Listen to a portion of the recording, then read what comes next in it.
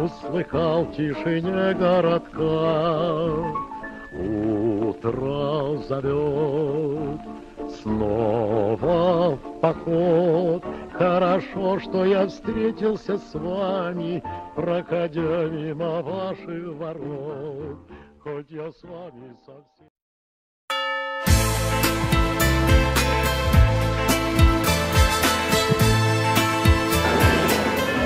Внимание! Начинается показ мод моделей конца 40-х, начала 50-х годов. На 9 мая принято надевать солдатские шинели, повязывать георгиевские ленточки и танцевать под старые добрые хиты 40-х годов. Стоит заглянуть в музейное хранилище, как сразу на глаза попадутся суровая форма из прочной ткани, потертые из металла и кожи, э, и металл, из которых изготовлены предметы военного быта, старые выцветшие письма. Какой же была мода послевоенных лет, когда все особенно нуждались в красоте? Подчеркнутые плечи, приталенные силуэты и строгий взгляд. Так выглядят красотки из журналов мод конца сороковых. Дамы активно курят папиросы, носят строгие фигурные костюмы с накладными карманами. Но есть пальто, но если пальто и жакеты отличались брутальностью, то платья, напротив, были яркими и воздушными. В 1947 году миром начнет править силуэт юлу.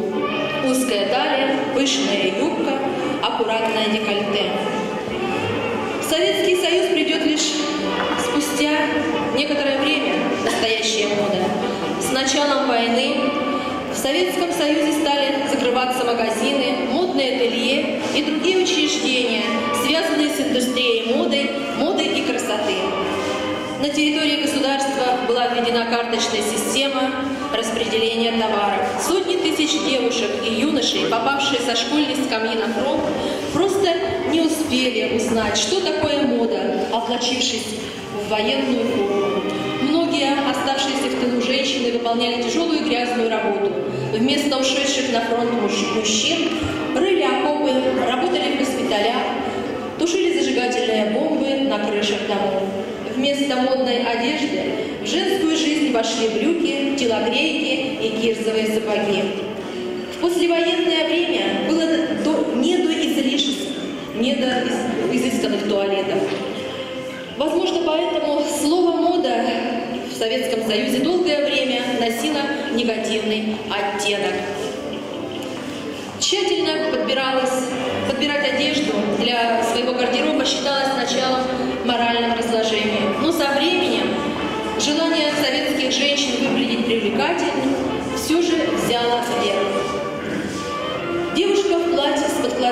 плечиками или рукавами-фонариками, в белых кофточках и лодочках на маленьком каблуке или босоножках – своеобразные символы эпохи сороковых. Вашему вниманию предлагается коллекция одежды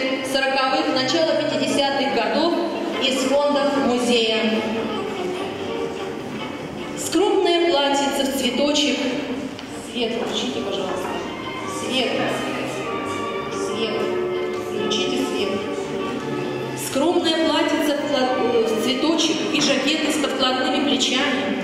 Укороченные юбки. Женщины носили все те же модели начала сороковых. Актрисы и певицы, сошедшие с киноэкранов, были своеобразным эталоном для советских женщин. Женщины старались одеваться и причесываться, как героини Марины Ладыниной, Любови Орловой, Людмилы Целиковской. Многие женщины... Так,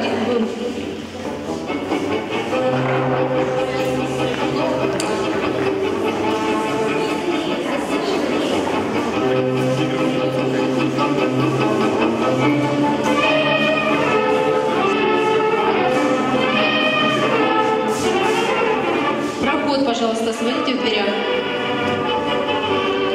Многие женщины сами шили себе наряды из штапеля. Эта ткань казалась началом грядущего изобилия. Шить штапеля считалось очень престижным.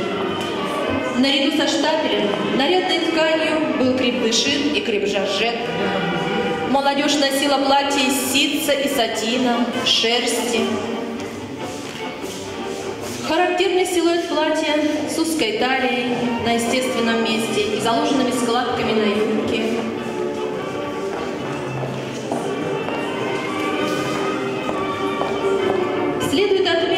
Что вплоть до 1957 года платья по-прежнему краили без боковой грудной выточки. Модели, пожалуйста, в зал.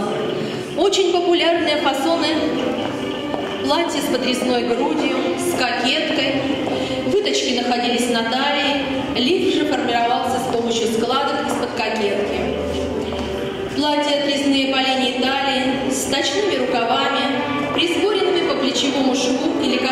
рукавами фонарик. Рукав кимоно популярен до конца 1950-х 50-х годов. Несколько слов об аксессуарах. Очень распространены были китайские бамбуковые зонтики от солнца. Для дождя пользовались черными зонтами. Позднее появились клетчатые зонтики с длинными и тонкими ручками.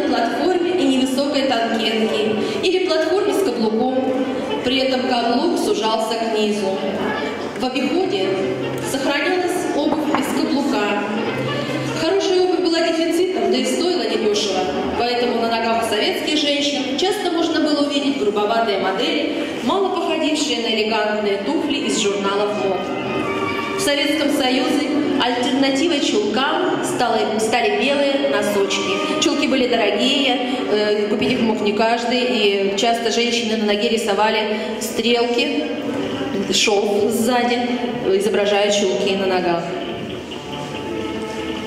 Яркие, сочные цвета послевоенной моды историк моды Александр Васильев назвал экзотическими. В моде середины 40-х 40 годов тщательно выщипанные брови,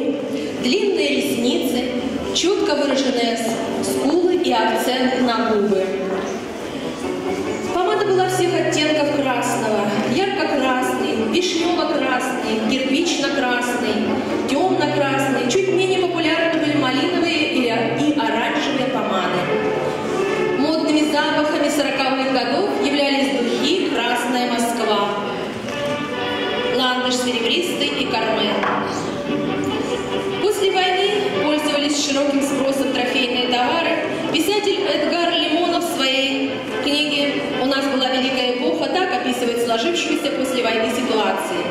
На барахолках страны приземлились и пошли по рукам платья, костюмы, пальто. Для всех полов и возрастов, трофейное барахло, вывезенное солдатами в вещевых мешках из покоренной Германии. Часто трофейное барахло, снято с чужого плеча, не могло сидеть идеально. Оно было пошито или куплено на другого человека. Поэтому платье перешивали с модистками для конкретного человека по его фигуре.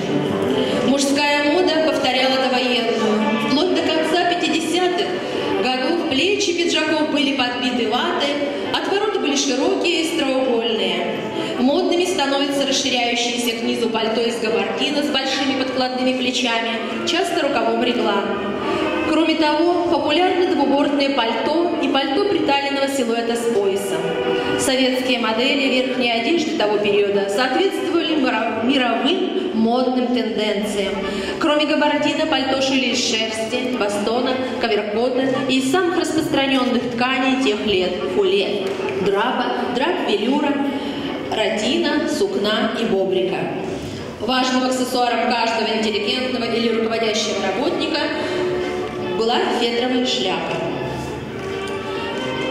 Рубашки носили как однотонные, так и в полоску, с небольшим воротником и галстуком. Углы воротника рубашки было модно выправлять поверх пиджака,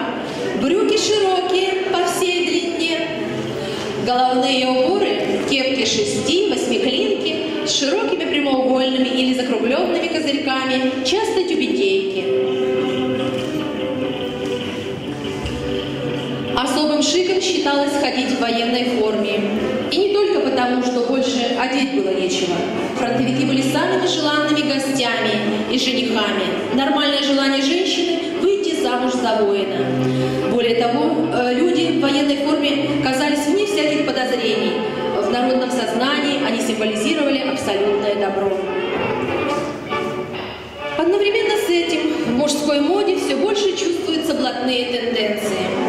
Дворовая культура порождала особую атмосферу. Ее жертвами стали прежде всего дети и подростки. Полностью предоставленные сами себе, они с удовольствием примеряли на себе роли жиганов. Типичный прикид хулигана тех лет, кепка-молокозырка, смятые в гармошку хромовые сапоги, белый шарф и, конечно, зуб фикса. Наконец, в 50-х приходится уже вполне официально признание изменения мужской моды. Уходят богатырские плечи, сужаются брюки, изменяется покрой пальто. Пальто укорачиваются и становятся прямыми. Предпочтители в рукав регла и мелкие отвороты на пальто и пиджаках. Мы представили вам коллекцию одежды. И сейчас я прошу еще раз выйти наши модели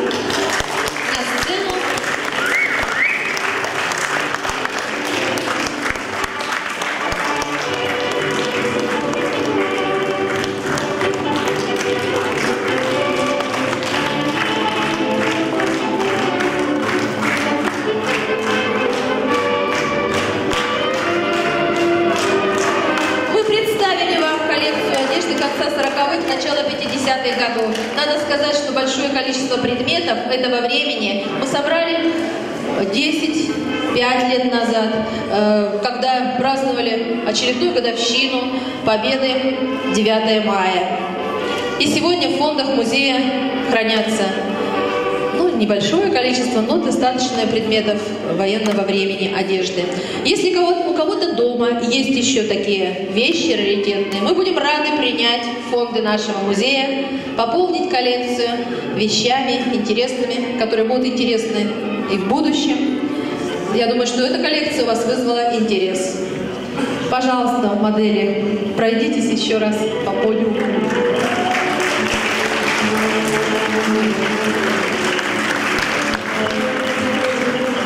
Я благодарю всех сотрудников музея, которые любезно стали моделями на этот вечер.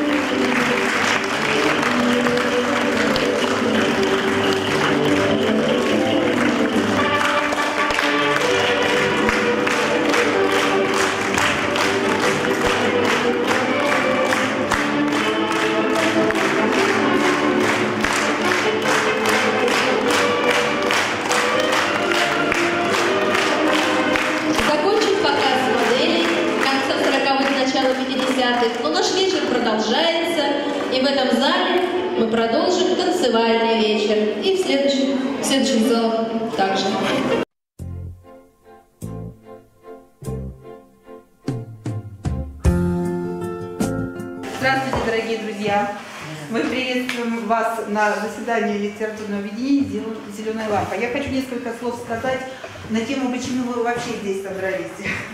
Значит, у нас сегодня Ночь музея. Это всемирное мероприятие. А Мы проводим его у нас в музее первый раз, поэтому посмотрим, что из этого будет. Но я вижу, народу сегодня очень много, очень много знакомых лиц, в том числе и э, представителей клуба «Зеленая лампа». То есть у нас сегодня выставка и собрание научной библиотеки, где представлены печатные издания э, участников лет объединения «Зеленая лампа». И, э, как вы знаете, мы недавно отметили 70 лет Великой Победы. И, собственно говоря, э, наверное, сегодняшняя встреча продолжит эти юбилейные мероприятия. И мы бы хотели, ну и ваше, наверное, желание, да, продолжить эту тему э, в своих стихах.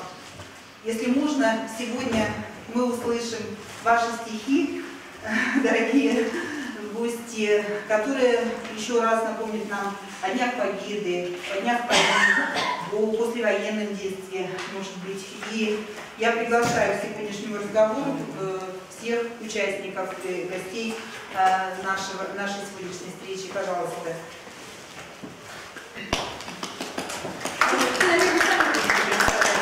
Ну да, наверное, так, если позволите. Да, конечно. Ну, для уважаемых гостей я представлюсь. Я Вальков Виталий Григорьевич.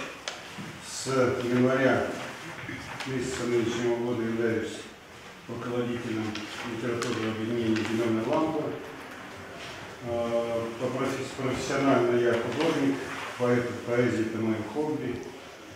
Вот я всем так и говорю, потому что я не считаю себя как бы, поэтом в высоком понимании этого слова.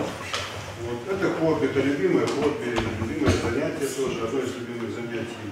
Вот. Поэтому позвольте мне сегодня здесь, может быть, мы по порядку как бы, ну, как выступление, как небольшой, скажем так, построим э, камерный концерт э, в плане э, прочтения стихов. Но это не говорит о том, что мы будем выстраивать его как, как сценическое выступление. Мы можем общаться, вы можете спрашивать. Может быть, спрашивать, от- откуда возникли эти стихи, как автор значит, к ним подошел, что он имел за этими, может быть, образами. Ну, у кого какие вопросы возникнут, я думаю, что авторы стихов ну, в той или иной степени э, смогут ответить на них. То есть вот такая камерная встреча, вот, может быть, правильно сказано, что заседание зеленой лампы открытое, то есть с присутствием э, почитателей поэзии, любителей поэзии. И э, я, наверное, сразу хочу представить слово, ну, уже известный достаточно Минусинский, да не только Минусинский, наверное, поэтессе. Вот. Она в какой-то степени и Барт, я сегодня картины галереи обратил внимание, значит, вот очень прекрасно пела песни военные и так далее. Это Ольга Семеновна Тараканова.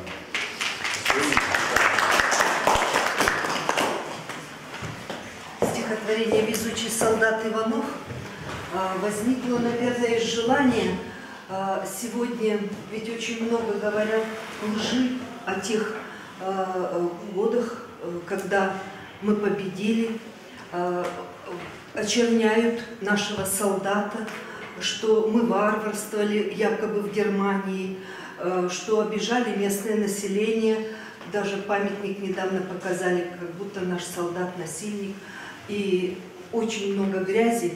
И, наверное, желание показать светлый образ нашего солдата-победителя и э, побудил написать это стихотворение.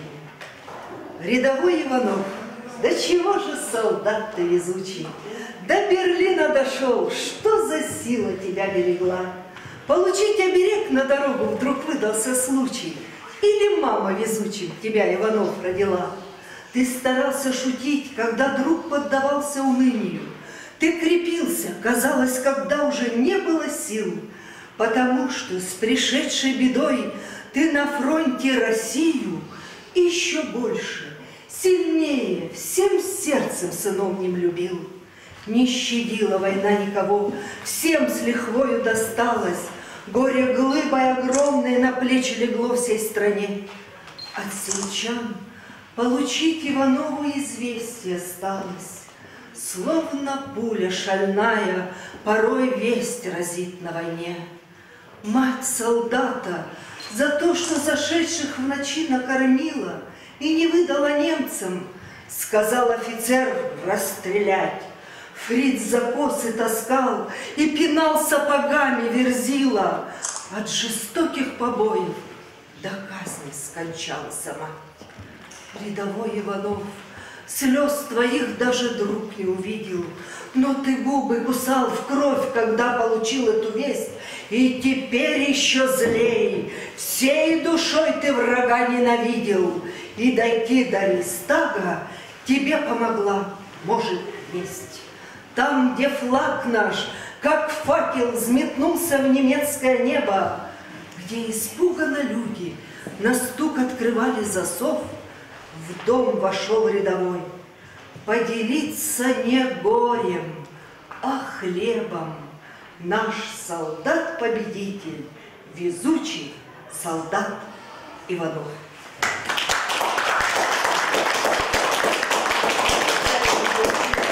Еще одну Нет, можно, можно, продолжать, Да? да. Вы знаете, летучая фраза такая есть, очень известная. Медаль за подвиг и за труд из одного металла льют. Моя бабушка Аникина Ксения Яковлевна в годы войны трудилась в колхозе вместе с мамой впрягались в лошадь, чтобы лошадь отдыхала, вместо лошади пахали. Вот, рассказывали, ужасно как уставали. Э, имеет наград, имела награды за труд в годы войны. Умерла в 1993 году. Вы помните, какое это было время. И вот в памяти ее э, написала я это стихотворение. И также это стихотворение относится ко всем женщинам того поколения. Слава всем, ковавшим победу. Нету больше бабушки моей, милой няньки, дорогой подружки. Слово я хочу сказать о ней и о всех сегодняшних старушках.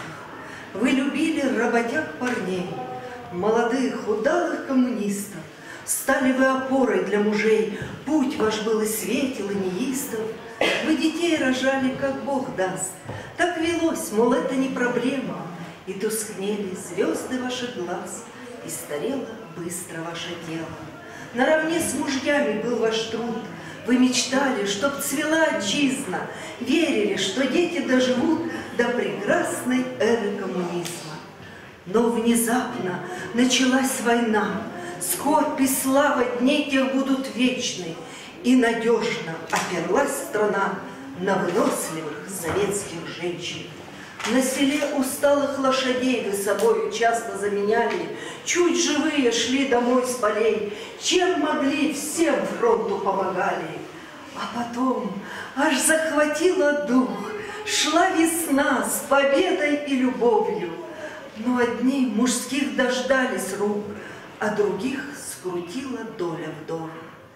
Каждая до внуков дорогих прошагала собственной дорогой, Сохранив в душе своей для них доброту, любовь и веру в Бога. Я страницы лет перелесну, ведь у всех не за горами старость. Вы из пепла подняли страну, а теперь вот не удел остались. Внуков захватила жизнь своя, мы перечеркнули вас при жизни. Ты прости, бабуленька, меня, за себя прошу и за отчизну. Я очень рада, что сегодня очень много уделяется внимания не только фронтовикам, но и тем людям, которые трудились в тылу, и детям войны. Они все этого заслуживают. А вот в те годы мне пришлось написать такое стихотворение, просить прощения своих.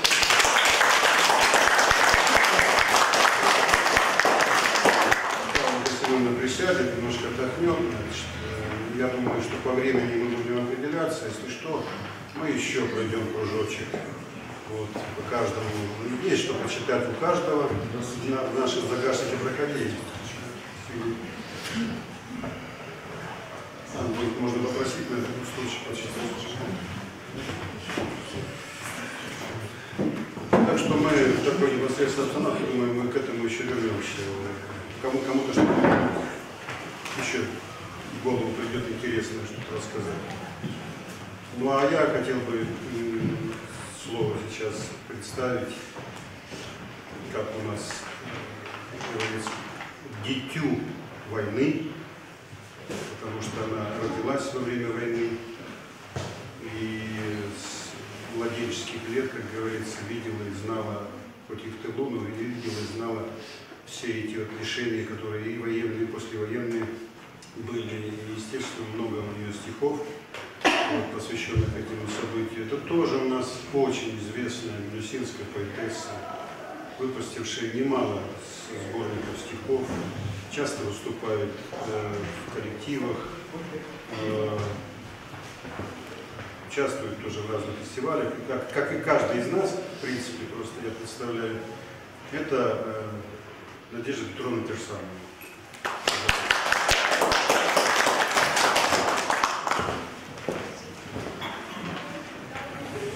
Спасибо. Я древняя, действительно дочь войны, поэтому у меня есть такое стихотворение одно. Я на войне, конечно, не была. Под Курском я орлом не воевала, и похоронки с фронта не ждала, но все о ней проклятой с детства знала. Была тогда я маленькой совсем, в барак наш приходили похоронки. Я помню, как сочувствовала всем и вытирала мокрые глазенки. Я ощущала горечь как свою, болезненно ранимою душою. И верила, вот песенки спою и точно чью-то душу успокою. Мой голосок звенел, как родничок. Концерты постоянно я давала. Мне говорили, есть от песен толк, поэтому я редко замолкала. Пой, дочка, громче, чтобы слышал враг, что мы его нисколько не боимся. Пусть шкурой он почувствует свой крах. Ишь прыщ какой, над кем решил глумиться. Давай, про трех танкичков, танкистов, дочка, спой. Не позабудь туманы, эх, дороги, про огонек, что парня ждет домой. Развей у нас все тяготы, тревоги. Я пела громко, тихо не могла. Жильцы барака слезы вытирали. Еще война за на нас брала. На всех фронтах России бушевала. Все думали, не будет ей конца. Но наши песни не были пропеты. Мы в них вложили души и сердца и дождались великой победы.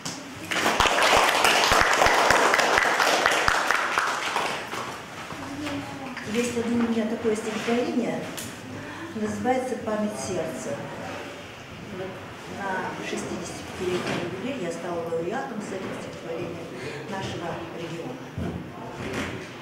Душка-старушка, усохший бутон, Смачно в варенье макает батон И припевает из кружки шершавой, Древний такой же, но явно желанный, Край обкрошился, рисунок затерт. Как не поранить, подумалась рот. Старость порадовать я захотела, Новую кружку купила ей в дело. К темным ладоням подарок прирос. В мутных глазах отразился вопрос. Кружечка эта, старушка застыла. Тысячи миль по фронтам исходила. С мужем она до Берлина дошла. Мужа вот нет, а она все жива. Нет для меня этой кружки дороже. Ваша ее заменить мне не сможет. Ведь из нее мой Степанушка пил. Голос старушки чуть дрогнул, застыл.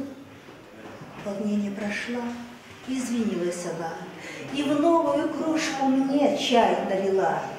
Мы говорили о страшной войне, Друг другом остались довольно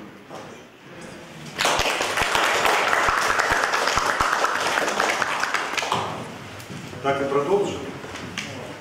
Уважаемые. Я хочу представить э, слово, читает свои стихи. Очень интересный человек. Если вы выписываете газету «Власть труда», буквально позавчера, в четверг, вышло интервью с ним большое на внутренней странице «Власти труда». Э, Это наш новый член нашего литературного объединения «Зеленая лампа» Сергей Анатольевич Петрушин.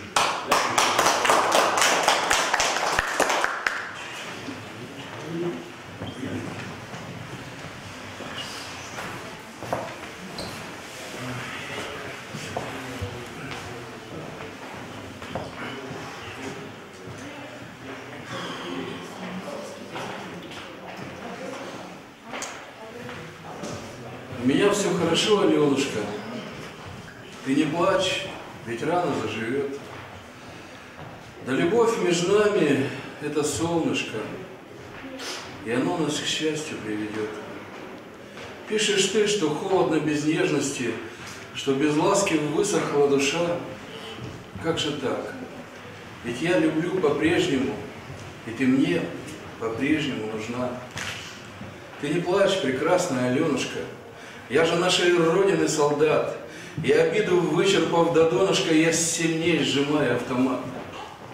Будет день, когда приду с победой, и тебя с любовью обниму.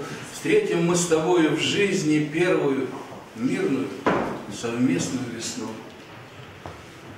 У меня, ты не плачь, прекрасная Аленушка. У меня все хорошо, Аленушка, ты не плачь, ведь рано заживет. Да любовь между нами – это солнышко, и оно нас к счастью приведет. Я может, я сразу слово дам? Нет, ну у нас, э, Семен Анатольевич, я сразу помогу. У нас здесь как бы камерная встреча, то есть не как таковой концерт, камерная встреча. То есть можете даже коротко, коротенько рассказать о судьбе, которая ниоткуда возникла, кому посвящена. Это Непосредственно обстановка. письмо из, письмо из госпиталя. Его, а, его можно читать, как раз она, кстати, была написана вообще-то во времена афганские, да, вот, но тем не менее, оно подходит ко всем временам и нынешним сегодня то же самое. Вот, поэтому вот так, так и было она задумана. Ребята и сегодня любят, и страдают, и все остальное. Вот. А мне было сегодня все равно, ну ладно, тогда хотела любви почитать. ну ладно. От первого лица.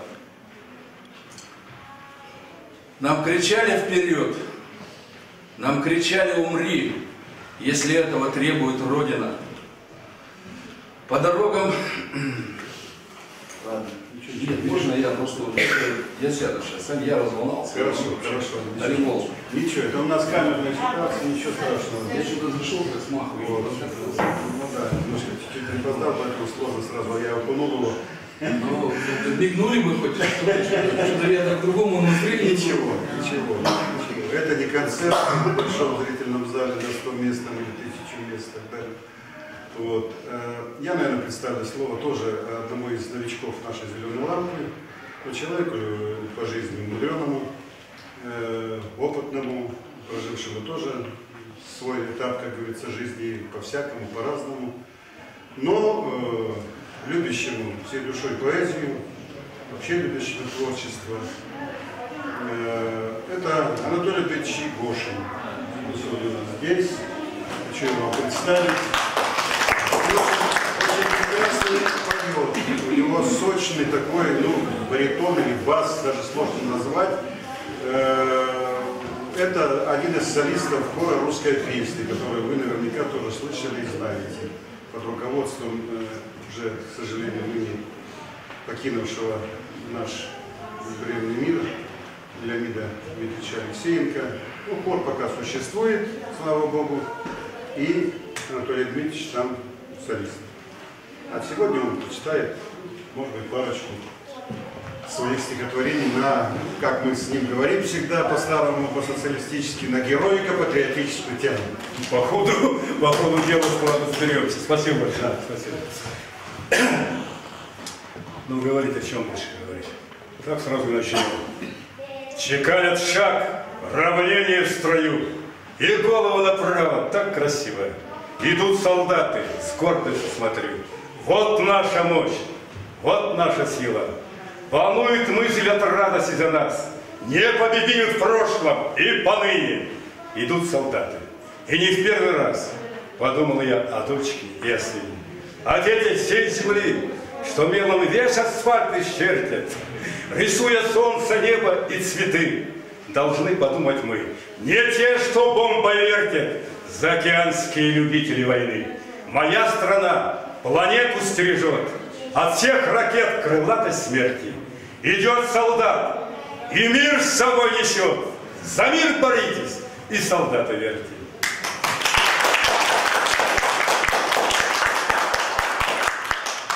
Ну, а теперь я хочу просто, это, это стихотворение задним числом объяснить, что написано было в Омском командном училище, высшее училище. Я его учился, там мы по 8 часов на плацу, ну так что мне это очень знакомо, и парад, и все остальное, и по 7 километров ходили туда-сюда. Хочу просто теперь еще прочесть, прочесть, если получится, я не собьюсь. Я думаю, так, и ночь зубрил, и день зубрил, и всю дорогу. И ехал, и шел, все зубрил, да. В общем, так. Вот уже как Сергей Анатольевич жалели еще немножко забыли, это волнуюсь. Ничего, ничего. В общем, он шел домой из магазина и вспоминал тот майский день и первую любовь, отрядную медичку Зину, читушку спирта, водрузившую на бень, весь обгоревший, пулями изранен, но с, мощ... с гладким срезом мощного ствола он для бойцов по большей части раненым. Служил за место стула и стола. Четушка спирта – это в море крошка, а нужно поделить почти на взвод. А в котелках варилась дряблая картошка, и ждал ее голодный рот. Потом, прорыв блокадного кольца, нашли тропу, как у иголки ушка. Смеялись позже в штабе у крыльца, когда назвали зиму ласково Четушка. А через день победа долгожданная пришла. И не стесняясь, плакали друг друга, обнимая. Весна пришла, победная весна, цвела. В мае. Приятно слышать в мае. Дома ждал седого деда, внук, молодой курсант и будущий танкист. Вот это праздник, вот победа, воскликнул старый, вот сюрприз. Но все, я много не восхитился.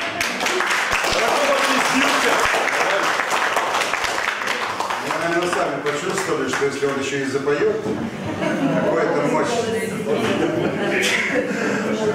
Жаль, у нас э, сопровождительства ш- как бы инструмента такого приличного нет. Да, э, можно было бы воспроизвести, но я думаю, ничего. Оставайтесь с нами. Так, старейший, старейший член Совсем зеленой старейший. лампы, зеленой лампы, нет, я, я не говорю про Бога. Леонид Смотров, он начинал здесь уже акапельно свои, значит, э, как бы аранжировки песни на стихи известных классиков и поэтов, ну а сегодня он здесь сейчас прочитает свои Если Виталий Григорьевич говорил, что он профессионал-художник, то мне сознаться надо, что я музыкант. Совершенно. А хобби уже поэзия.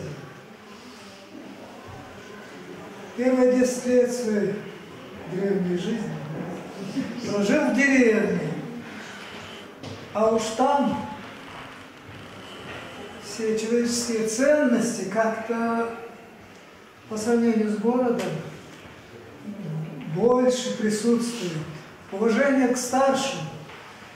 Вбивали иногда по макушке, причем любой старший проходящий. И мы не жаловались, как сейчас, о правах не говорили. Но зато отношение к старшим и не обижать младших было, что надо. Это я к стихотворению «Дорогие мои старики». Песня добрая, славная есть. Годы жизни у вас нелегки.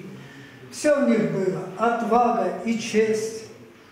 Время кануло торопливо, потеряли родных и друзей, и здоровье ваше уплыло, а головушки стали светлее.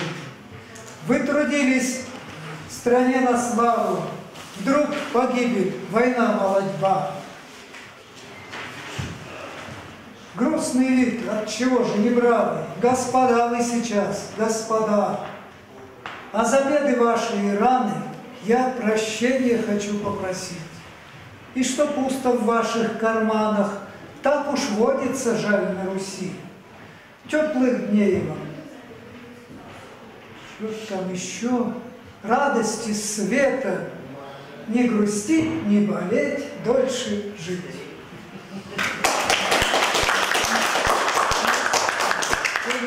Тут Разговор был о двух номерах. Сейчас я Да?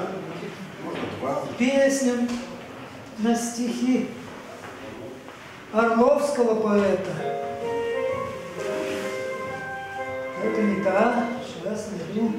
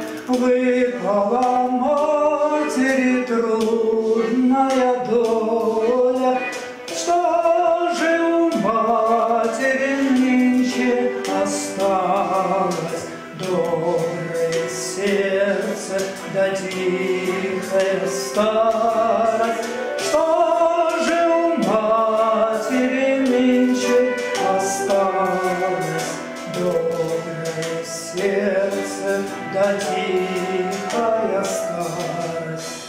Память о сыне да горечь утрат, Что пробуждает ее по утрам.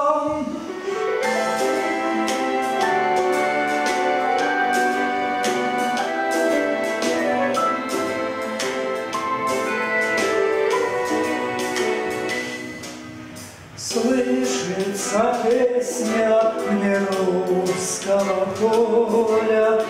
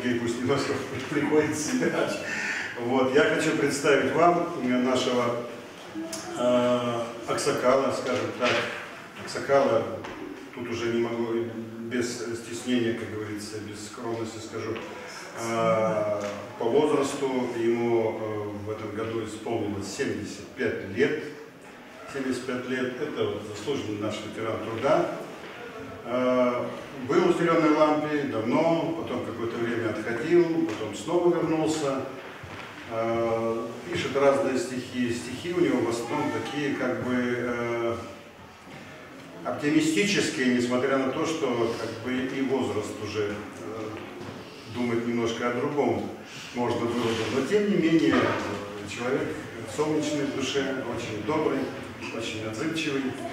Это э, Иван Алексеевич Бондарин.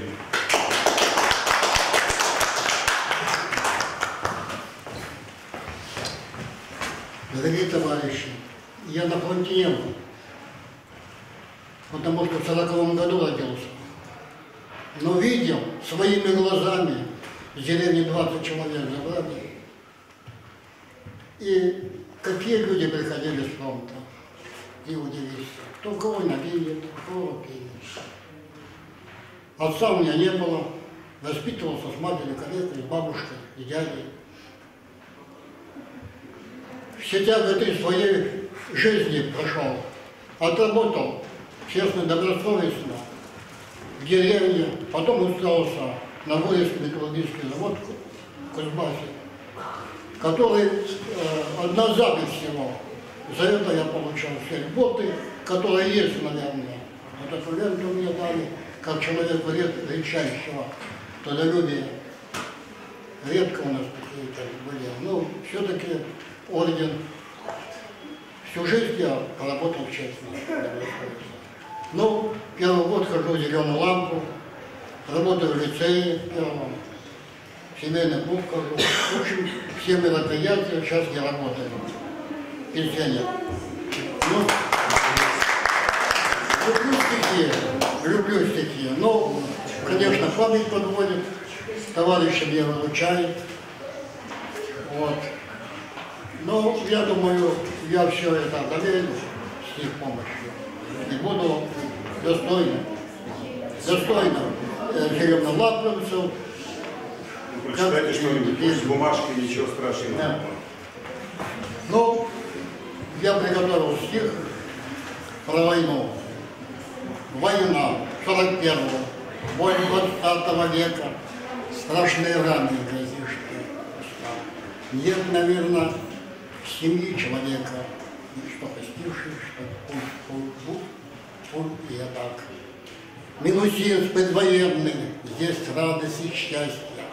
Город полный надежды, любви, но в то раннее утро осколком снаряда ты все ответы нарушила Текст возьмите, возьмите, не. Горе и боль расставаться с родными, уходили на фронт, стар и млад. Уходили, и зная, что вечная слава Нечто почестей ждет и наград. Все для фронта, и снова, и снова опять для победы, день и ночь от зари до зари. Наши жонные дети твердили, как клятву, гордо смотрели на руки свои. Я горжусь тобой, город, ведь трудное время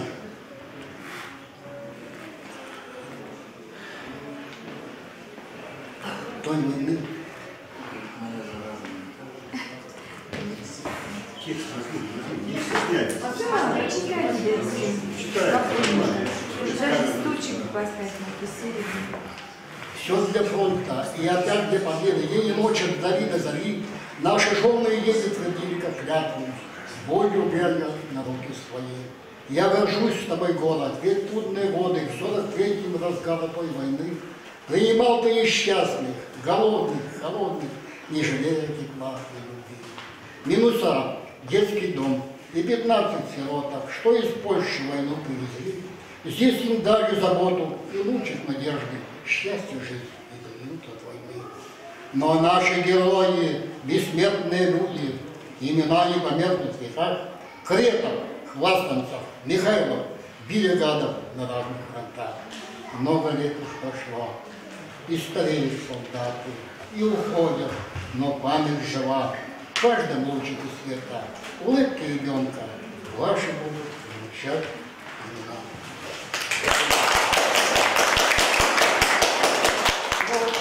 Хоть уж так я буду рассказывать, но все-таки приглашают меня иной раз. Знаменки вот со Злобином ездили мы на 75 275 выступал я. Все-таки хочется что-то не, пос- не, не, не ставится. Мой Белян, тебе мои истоки, гордись этой историей своей, тебе я посвящаю эти строки. Ведь 80-летний юбилей. Соединив далекое и близкое, история хранит уж много лет. Из тех людей, известных всему краю, отныне нет уж много лет. Лишь были люди мастера, свое дело знали на отлично. Данилов, Гусев, эти имена в историю вошли уже навечно. Купцом Даниловым мы построен знаменитый спиртзавод, а Гусев основал в селении стекольный маленький завод.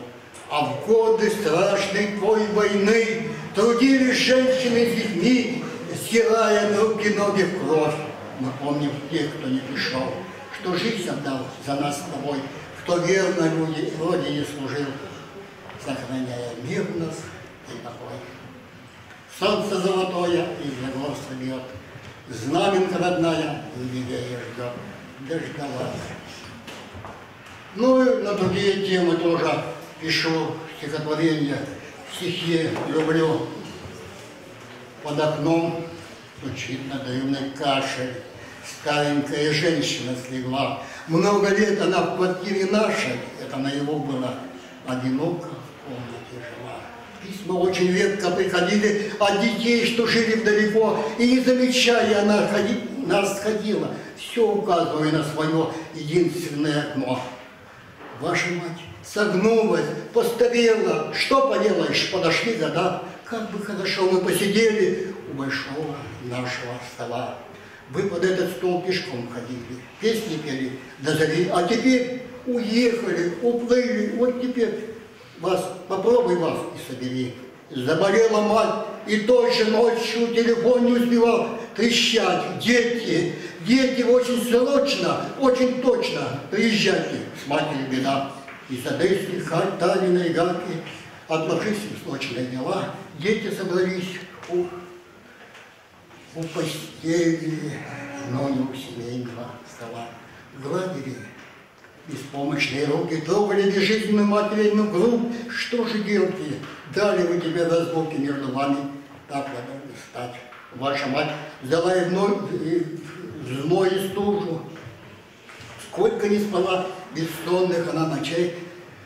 Что же не хватило времени, что приехали матери своей. Неужели только телеграммы приведут вас к поездам? И поэтому, у кого есть мамы, приезжайте к ним без телеграмм. Я возвращаю Сергея Анатольевича, успокоился немножко. Он умеет читать, так что просто он немножко растерялся. Да, так бывает иногда. Я помню, когда такой курьезный тоже случай был в 91 году, вот, э, на краевом конкурсе. И стихи, которые, значит, казалось бы, я тысячу раз читал, девочка в платьице, и днем, и ночью, утром, обед и вечером, когда мы были студентами, старшие мои товарищи издевались, в любом состоянии меня будили, даже когда мы немножко сессию отмывали. Все время говорят, почитай девочка в платьице. И я думаю, что те другие подготовил, а это-то уж всяко разное. Раз и забыл. Хорошо, шпаргалка была в кармане. Как я вообще мог забыть стихотворение, которое миллион раз, два раза читал? Вот так бывает.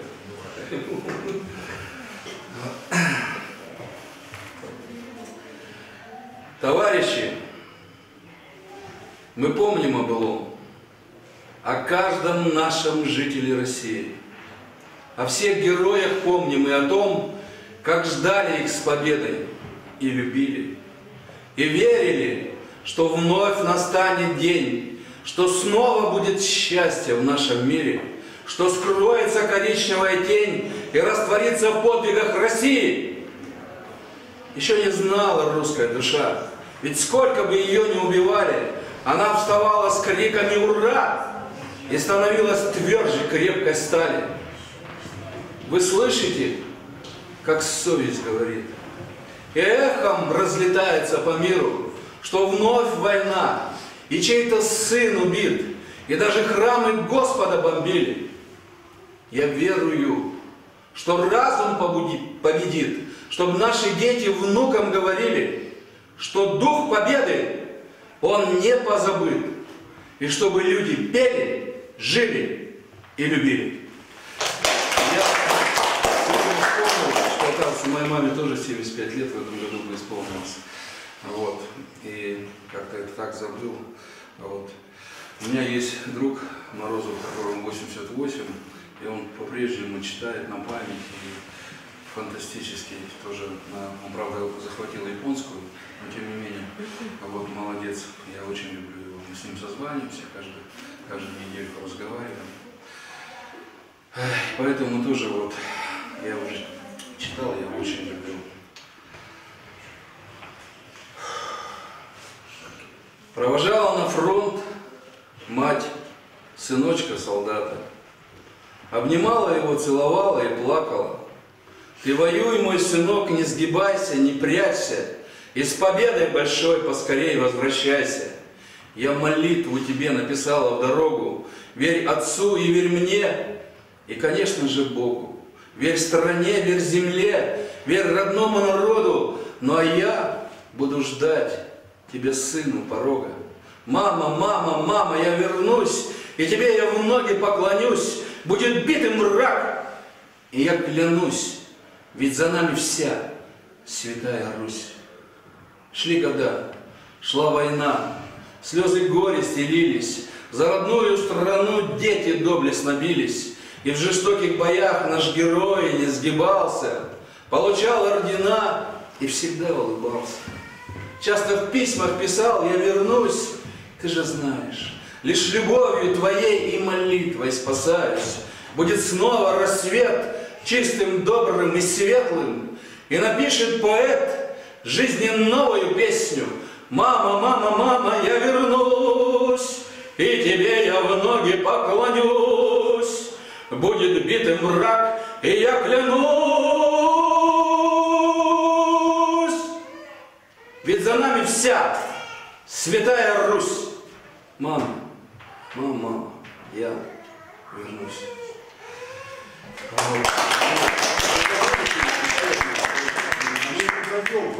Еще пойдем, чтобы сразу все, немножко еще берешь. Ну, уважаемые друзья, наверное, из всех присутствующих здесь членов Зеленой лампы я один остался паузе. А, Поэтому я прочитаю два коротеньких стихотворения сначала, а потом одно чуть-чуть подлиннее. Это два коротких стих- стихотворения, они написаны недавно. Недавно, поэтому я взял бумажки с собой. Во-первых, э, стихотворение, которое я посвятил своему, своему дяде Михаилу Васильевичу Валькову, 22 года рождения, ушел с первых дней войны на фронт. Гвардии старший лейтенант, кавалер орденов Красной Звезды и Красного Знамени, медали за отвагу, за оборону Сталинграда, за взятие Белграда, зам командира стрелкового батальона 39-го гвардейского стрелкового полка, погибшего при освобождении Праги 1 мая 1945 года. Вы знаете, что Прагу взяли а, 14 мая. Уже была, был подписан акт о капитуляции Германии, а Прага значит, восстала, была в окружении. И вот, вот такая судьба. Он был как все. Обычный парень из обычного села. Когда отчизна к бою позвала, ушел спасать страну свою от зла. Он жизнь любил. И на войне мечтал он в яве и во сне о счастье, сыне и жене, но не дожил до Дня Победы 9 дней. Он честно жил. И в нашей памяти храним, как офицер, погибший в Волгином кольце, как русский богатырь с улыбкой на лице. Гранитный обелиск. Со старой фотографией в анфас усталым взглядом Васильковых глаз глядит спокойно и с любовью он на нас. И, э, отец мой тоже воевал, он моложе дядя Миши, он с 24 года призван был в 43 году на фронт, гвардии сержант, командир минометного расчета 42-го минометного полка, кавалер орденов Красной Звезды Отечественной войны первой и второй степеней, медали за боевые заслуги, за взятие Будапешта, за освобождение Праги, за победу над Германией и за победу над Японией. Живым вернулся с войны, иначе бы я не родился. Два года назад мы здесь, в Мирусинске, его, к сожалению, похоронили. Прожил 89 лет. Э, Дважды тяжело ранен, трижды легко. Однажды вдруг приснилось мне, как будто я на той войне. Сквозь дым я вижу мой отец. Тогда еще совсем юнец, такой смешной, такой худой, совершенно не седой. Среди разрывов и огня идет, не зная про меня. Не ведает, что сквозь огонь и дым вернется он с войны живым. Привиделось, приснилось мне. Отца я видел на войне. Реально с ней.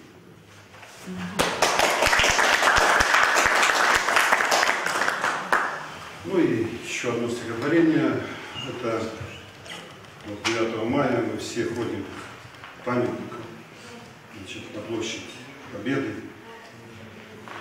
Я вот уже в Минусинске лет 5-6, наверное, хожу туда на 9 мая. И с болью в сердце осознаешь, когда садят их по правую и по левую сторону от памятника, что их, не их даже, кресел, которые их садят, становится меньше. Ставили до 200, сейчас десятки только, может быть, 20-30. Ну, Минусинский, я разговаривал с председателем Совета ветеранов, вот, их осталось 100 ветеранов, участников войны всего. Было больше нескольких тысяч. Поэтому это стихотворение, в принципе, написано давненько уже, лет 7-8 назад. Ну, тоже как бы по этим событиям, потому что все мы собирались, видели, мы фотографировались, становились в несколько рядов. Значит, в первом ряду человек 15, фотографы старались ухватить всех в кадр. И еще так, как говорится, по этажам 5-6 ярусов. И то не вмещались, и то не вмещались. А сейчас вот кучка. Разговор у обелиска. Нам девчонок любить не случилось с тобой. Только в этом, мой друг, разве мы виноваты? Мы ласкали броню, целовались с землей, а во сне прижимали к груди автомат.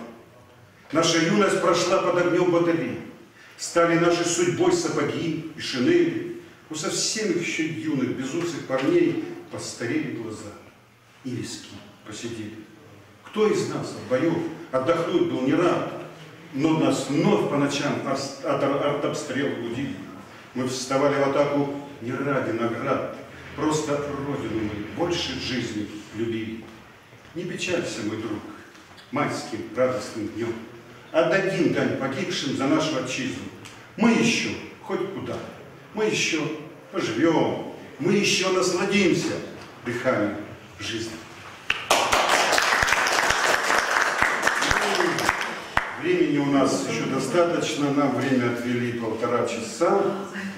А мы всего сколько заседаем? Вопросы какие-то есть, а, Ну, до девяти еще как бы должны, в принципе, поэтому, если есть желающие, мы можем еще вам почитать. Есть желание послушать? Ольга Семеновна, тогда продолжайте. Ольга Семеновна, продолжайте. Еще хотя бы по одному пройдемся. Вообще для чего все все делается для чего? Собираемся, читаем стихи, проводим мероприятия, э, учим детей. Э, говорят, пока помнишь, э, оно не повторится, а забудешь, обязательно вернется. И вот сегодня мы видим, как на Украине забыли и к чему это привело.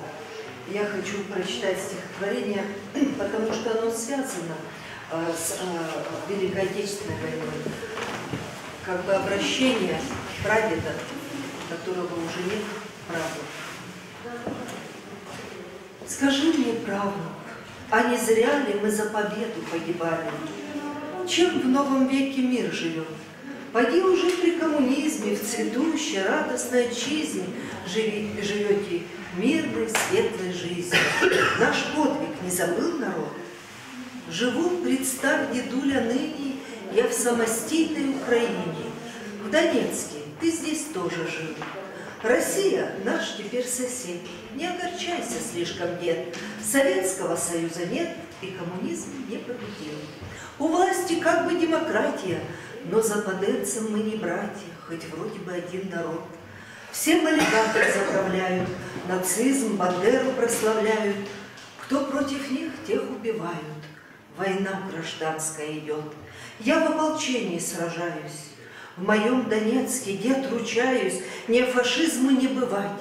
Мечтает Киев жить богато, вступить в Евросоюз и в НАТО, готов Соединенным Штатам и черту душу он продать. А я живу мечтой о мире. Клянусь, сегодня на могиле твоей ты воевал не зря. Боевикам нас не сломить, и в Бабе Яр не превратить восток страны мы будем жить, и в мире есть у нас друзья. Слава Богу, что немножечко все-таки мир с натяжкой, но оглядывается, как-то пытаются остановить эту чуму, это вернувшийся этот фашизм, это ужасно. И нужно прикладывать как можно больше сил и ходить в школы, что мы и делаем с зеленой лампой, и э, беседовать с детьми, читать им стихи. Я вот преподаю в школе дистанционного э, обучения, преподаю детям э, с ограниченными физическими возможностями стихосложения. И вот в «Зеленой лампе», я не знаю, есть сегодня здесь эта газета или нет, там вышли стихи, дети раньше не писали. И вот вышли уже проба пера их стихи. И радостно, как дети относятся вот к ветеранам, к этому празднику. Это замечательно, у нас хорошие дети. Я всегда с таким удовольствием смотрю, когда по телевидению есть вот такая вот рубрика «Правнуки о прадедах», да? И вот детки рассказывают, я думаю, такие чудесные у нас дети. Во-первых, нужно запомнить это, во-вторых, они так эмоционально. Мальчик один рассказывал, руками прям в глазах глазки горят. Так здорово. Хорошие у нас дети. Что посеешь, что пожнешь. Поэтому нужно работать.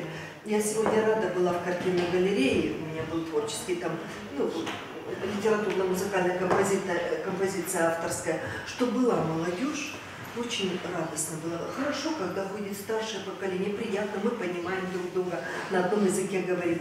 Но когда молодежь присутствует и интересуется, я видела глаза этих детей, этих девушек, которые подпевали даже мне, замечательно, очень хорошо.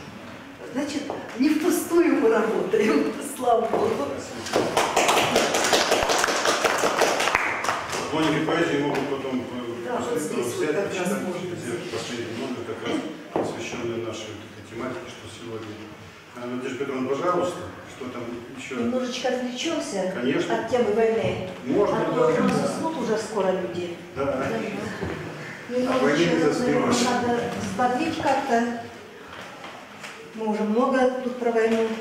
Вы поняли, что мы все умеем писать о войне, что все наслышаны о ней, что все сопереживаем всему этому, что творится везде, всюду и творилось.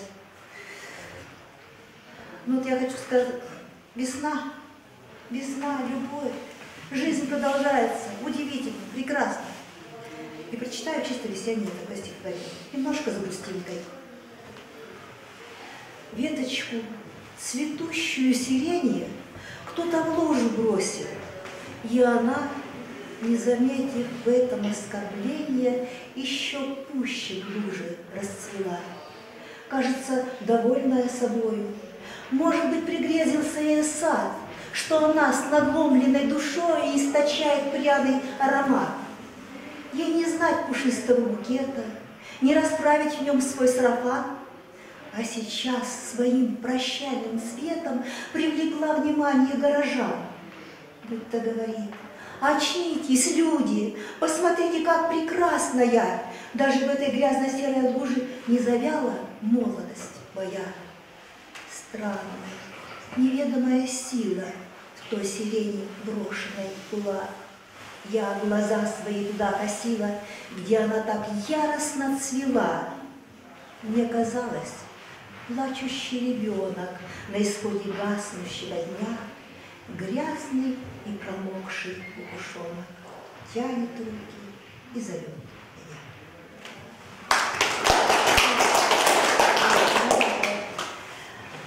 Оля сейчас преподает. Я тоже когда-то в Доме детского творчества преподавала э, деткам вела уроки поэзии и так далее, учила их азам кое-каким. Так что все мы тут задействованы, кто сейчас, кто когда-то, по мере возможности, по мере сил. Ну и поскольку с с детьми я хочу вам рассказать детское стихотворение, если можно. Каждый по-своему в чудо верит. Кто-то откроет для чуда двери, кто-то ему приоткроет окно. Как же оно постараться должно? А для меня чудо рядом питает. Вот как чудесно свеча бывает. Чуден на окнах морозный взор. Мне любопытно, он радует взор. Чудо в печке, трещат головешки, топятся шкварки, пекутся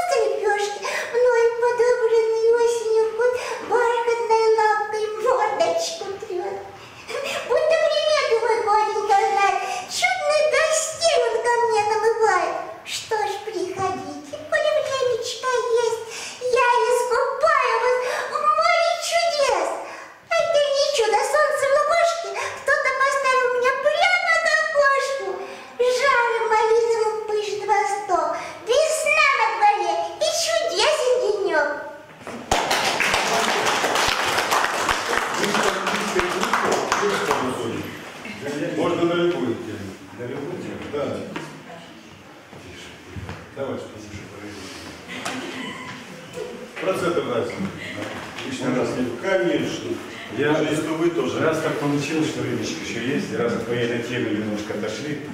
вот я хочу объяснить то, что нас вот тулийцев, да, то есть в Туле мы много лет прожили, не будем партию показывать, вот так, и нас минусинцы приняли. Очень приняли, когда трудно пришлось, когда там тулийцы начали что-то чухарить, да. Вот, и поэтому я это стихотворение, значит, написал, уже много раз тоже читал его так все. Центр Азии назвали, да, ну я-то назвал его четыре слова. Я прочту, если с вашим позволением. Мне бы снова пройти к берегам Енисея. Мне бы снова сказать просто «Здравствуй, Кызыл». Стал намного сейчас ты, душой красивее, чем тогда, когда я в тебе жил. Одно слово «Кызыл» и в душе потеплело, Сразу мысли потянут в родную Туву, Где и сердце прошло, где и юность отпела, Отцвела, как черемуха в летнем саду. А вторая река Енисеем зовется, Улучем и Пихем наполняет его. От названия реки чаще сердце забьется, И опять на душе, и светло, и легко.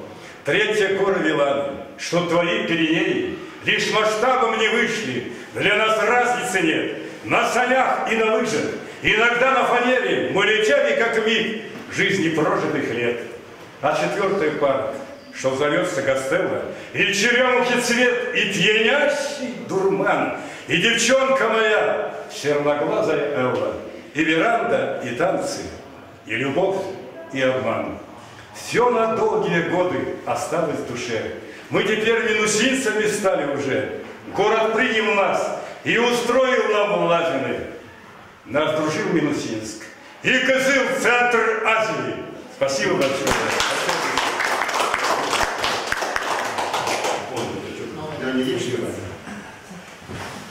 Я умудрился серьезные вещи акростих совместить.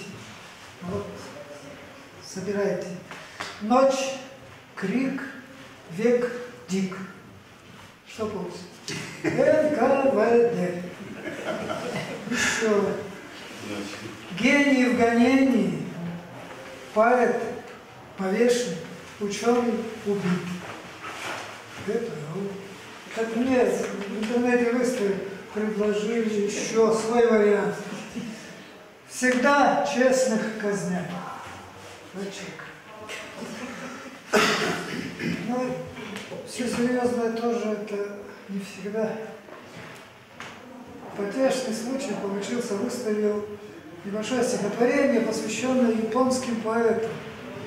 Сейчас прочитаю. Те дни, часы, что в рифмах прожил, Ушли они и все. Читая вас, я снова ожил, Но зависть белая все гложет, Быть кратким, мудрым, как Заходите, Васё. заходите. Мне пишут ответ. Будь лучше, чем Басё, молчи и все.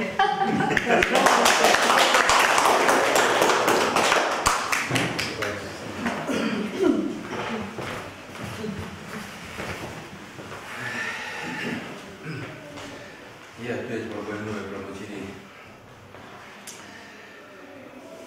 Я в небе вижу голубей, то души ангелов земли, то души наших матерей, храни их, Господи, храни.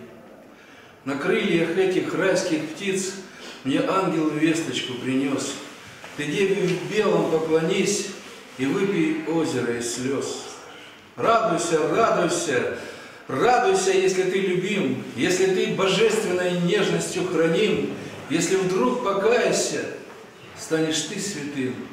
Золотое правило, будь непогрешим. На свете множество дорог туда, где с Богом заодно. На свете множество тревог, но покаяние одно. И я пою слова любви летящим в небе голубям и душам матерей земли, летя, несущих свет и радость нам. Радуйся, радуйся, если ты любим, если ты божественной нежностью храним. Если вдруг покайся, станешь ты святым, золотое правило, будь непогрешим. Я в небе вижу голубей, то души ангелов земли, то души наших матерей. Храни их, Господи, храни.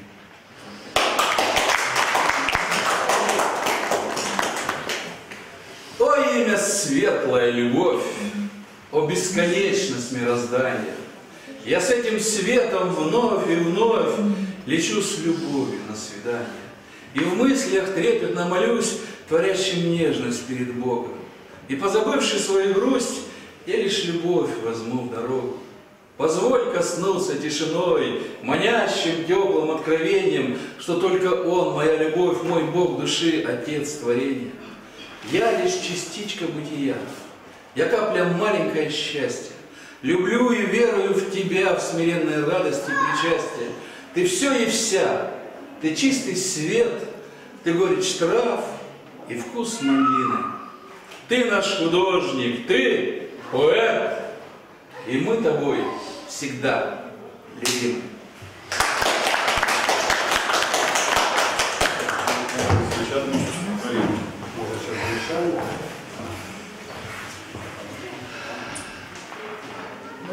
Очевидно, знаете, что сестры на Великой Отечественной большую роль сыграли. Я работал 25 лет на ветплощадке в советское время. У меня было на улице 15 фронтовиков. Были поэты, и песни пели.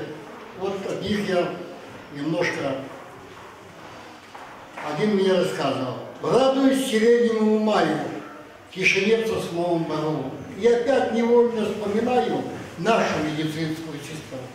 Вспоминаю день весенний яркий, день, когда красивая и мила девушка-сестра больным подарки в шумную палату принесла. Сколько нам здоровья, силы ласки принесла с подарками она, даже уз колечком по-солдатски загрузил бывалый старшина. Улыбнулся ей при всем народе, а потом беседу с ней завел. Только я молчал, стеснялся говорить. Что за парень, если костыли? За окном о чем-то птицы пели. Юный сад был от цветения бел. Я молчал, а на ее ресницы и глаза веселые глядел. А в часы, когда нам грустно было, мы беседы грусть делили с ней. Всех она, как братья нас любили, но ее любили. Время шло, шагали дни за днями, и однажды летнюю порой я расстался с близкими друзьями, разлучился с девушкой-сестрой.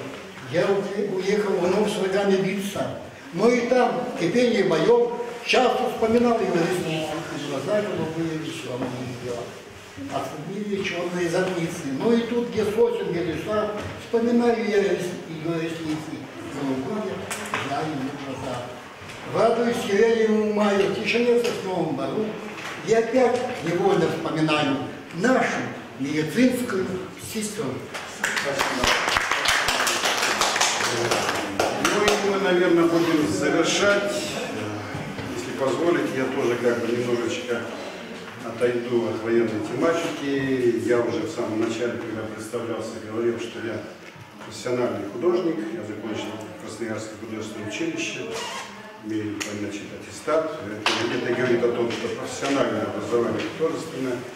И не прочитать стихи от, как художнику, наверное, тоже было бы нелогично сегодня. Поэтому я картину пишу.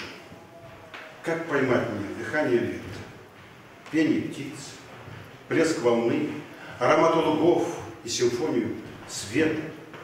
Как бы мне уловить дуновение таежного ветра, синеву дали гор, величавость разлапистых кедров, как на холст передать влажный вкус голубого тумана, звонкий бисер дождя и полет молодого орлана, чистоту светлых зорь, серебристого иния слезы, колокольчиков звон, шум листвы белоствольной березы, прозрачная стручья, горных трав, кружевное цветение.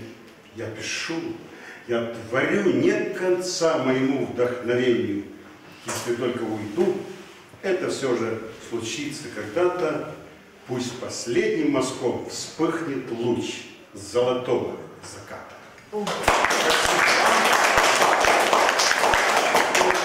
Заканчиваем. Да, спасибо.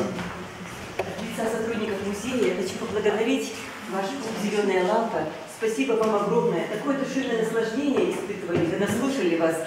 Здоровья вам, крепкого-крепкого, счастья. Надеемся на, на дальнейшее сотрудничество. И, наверное, в следующем году у вас 15 лет уже будет, да? В этом. В этом году В этом 15 лет. да. Когда юбилей? Мы с музеем всегда сотрудничаем. Вот давайте у нас проведем Конечно. Давайте у нас зал большой, пока еще не закрытый. Спасибо вам огромное.